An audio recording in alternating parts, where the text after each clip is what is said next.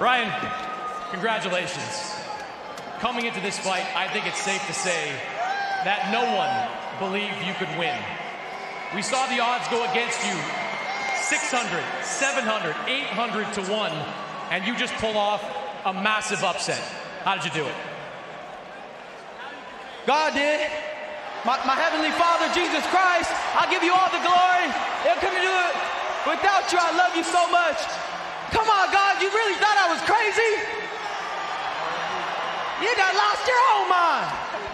Ryan, from the very first round, you set the tone. That first left hook knocked Devin. How much did that set the tone for this fight? Uh, I mean, my left hook is my left hook. You understand what I'm saying? Uh, that's blessed by God. So whenever I land it, it can't put you out or down. How did you know that you were going to be able to land that so frequently? Devin was obviously aware Because you guys overrate everything. You guys hate on me because I'm pretty and shit. Man, that's fucked up. At the end of the day, I've been boxing my whole life, and all I do is love God and try to help the children, and you guys straight hate on me. You guys do not love the truth. The truth is in front of you. I try to, I put my fucking reputation on the line for all the kids in the world, and everybody's fucking staying quiet, but me. Ryan, the this is a competitive fight right into the middle rounds of this fight. You landed that first knockdown. What were you seeing when you landed that left hand? I just, man, I don't know, man. I gotta gather my thoughts. At the end of the day, I need a shot of beer like alcohol, something to get my mind going. You feel me? I'm just kidding, man. Can you guys take a joke, man?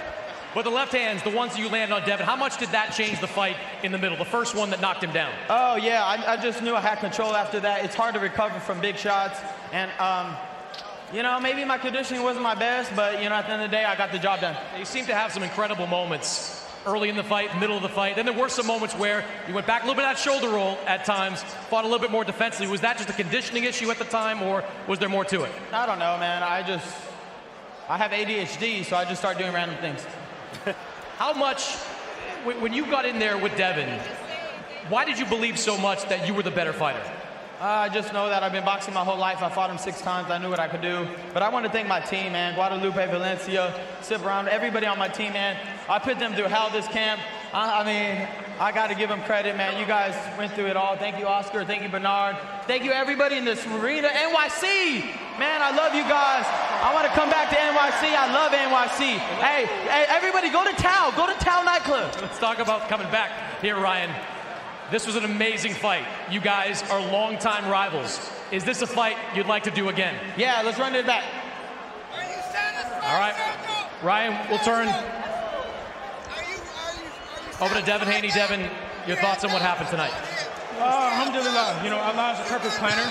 Uh, I'm disappointed with my performance, but I showed that I was that I was a you know a true champion and that um I could fight with after being knocked down and being hurt.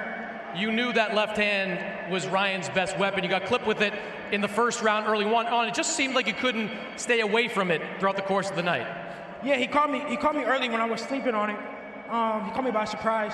I fell asleep on a, on the left hook. We trained. We trained for it, but I got I, I got in there and I, and, and I fell asleep. Uh, and, and he caught me with it. When you went down that first time, how hurt were you? How much did that change the course of the fight? I was more surprised than hurt. Um, the first time I wasn't really that hurt. I was more surprised. Like I said, he, he went in there, he jumped on me, just like he knew he would, but I was just sleeping.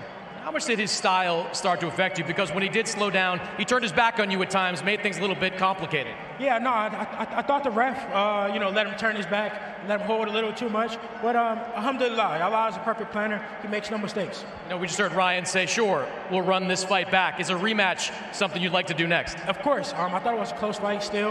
Um, I would love to, to, to rematch. I gave him a shot. It's only right he give me a shot back. When Ryan came in a little bit heavy, you said, I'm going to go through with this fight no matter what. Do you have any regrets about that now? Uh, no, no, no. Like I said, Allah is a perfect planner. Um, he didn't make weight, so I'm still, I'm, I'm, I'm still the champion, and uh, we can run it back. Devin, tremendous fight, fighter of the fight of the year type performance. Thank you. Thank you.